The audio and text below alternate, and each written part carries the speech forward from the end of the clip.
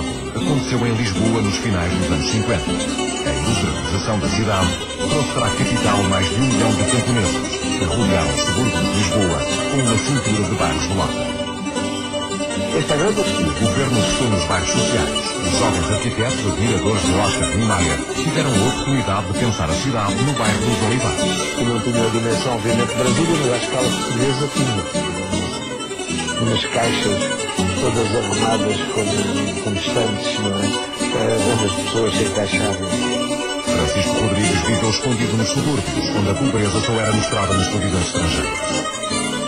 to improve their standards of living, many thousands of peasants have come to Lisbon, a city of big industrial monopolies, to live in shanty towns like this, earning an average wage of just over two pounds a week. A guerra colonial abrandou a construção dos bairros sociais os bairros de lata cercaram a capital. Lisboa foi uma das maiores vítimas dos anos 60.